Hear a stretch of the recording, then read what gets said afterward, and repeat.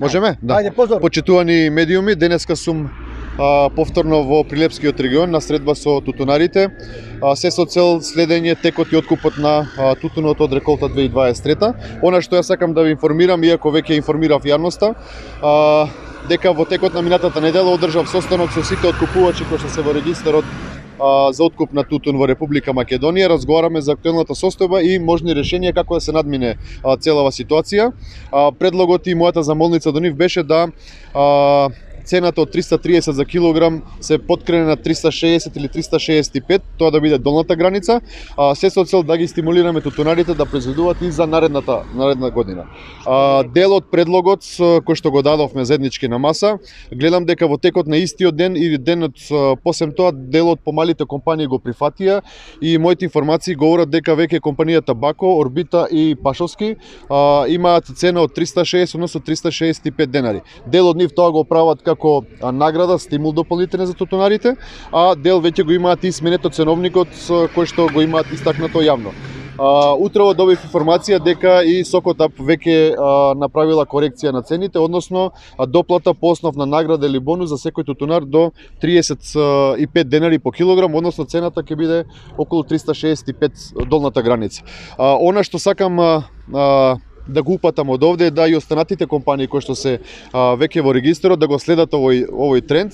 И ова да важи пред се потенцирам за сите оние кои што го предале тутунот до овој момент и за сите оние кои што ќе го предадат до 20 а, овој месец кој што е крајниот рок 28 се извинувам кој што е крајниот рок за предавање. Така да да бидат офатени сите оние тутунари кои што предали и оние кои што ќе предадат за да нема двоење и да нема двојни аршини за а, едни и за други тутунари ја користам оваа прилика иако посем денешнава средба ќе разговарам и со министерот Николовски да се вклучи во целава ова ова акција за заштита на трудот и маката на тутунарите и заедно преку тутунскиот комбинат Прилеп кој што има свој кооперанти и према останатите компании заеднички да се делува и да се постигне барем ова на прагот на рентабилна цена се со цел да ја поминеме оваа откупна сезона и веќе од наредниот месец да можеме да планираме и да разговараме за новите договори кои што ни се предизвик и на министерството, меѓутоа и на овие луѓе кои што се познамене како тутуно производители. Така да целта е ова да се направи еден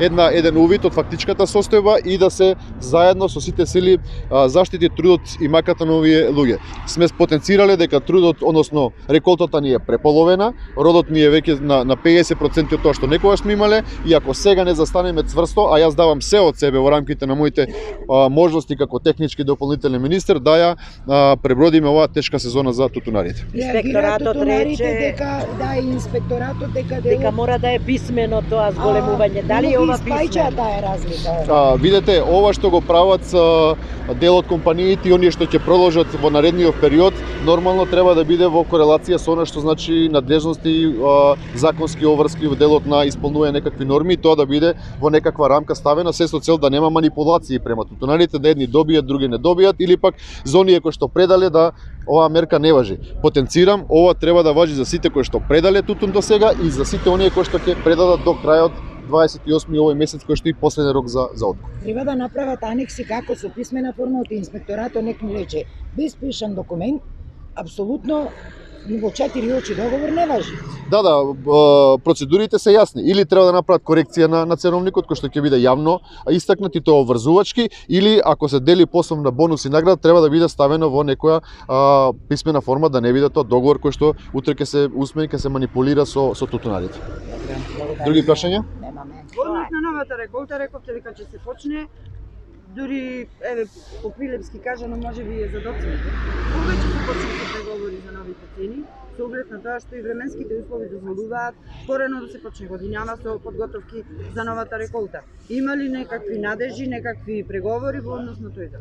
А, видете, а, за мене пред се е приоритет ова што е актуелна откупна сезона да заврши барем на некакво задоволство на тутунарите, тука да не треба да има разочарување, а сите оние рокови кои што предвидуваат склучување на договори и така натака за наредна реколта, а, пак ќе кажам треба да биде заеднички на маса со сите чинители во овој процес. И тутунарите и откупните компании, меѓутоа а, а, вистината дека Министерството за земјоделство, кој што се уште има актуелен министер Николовски, кој што треба да го води овој процес така да биде на општо задоволство на двете засегнати страни. Ако почувствува момент дека нешто се затајува како што се случуваше во изминатиот период, јас нормално во рамките на моите можности пак ќе потенцирам како дополнителен заменик министер ќе дадам се од себе.